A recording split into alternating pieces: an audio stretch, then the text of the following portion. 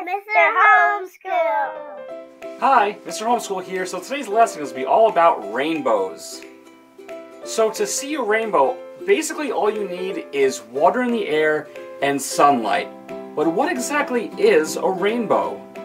A rainbow is the light split up into all the different colors of the spectrum, refracted out of all the millions of droplets of water in the air. So refraction is when the sunlight in its original white form hits the water droplets, bounces off in a reflection, and it separates the light into all the colors of the spectrum. And then all these colors form a rainbow in the sky, and these colors are red, orange, yellow, green, blue, indigo, and violet. And these colors are always in this particular order because it's based on the size of each color's wavelength. Red has the longest wavelength, so it's refracted the least. And violet has the shortest wavelength, so that's refracted the most.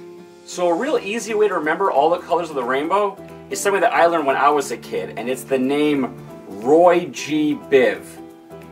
Red, orange, yellow, green, blue, indigo, violet.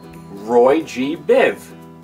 So in history, after the Great Flood, God made a covenant with Noah that God would never threaten to annihilate all of humanity by flood again.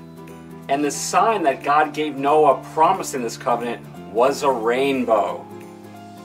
Hey, thanks for coming with me to learn all about rainbows.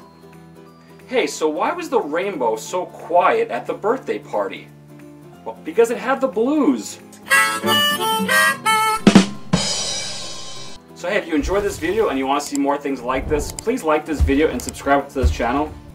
And as always, thank you and God bless you. Mr. Homeschool.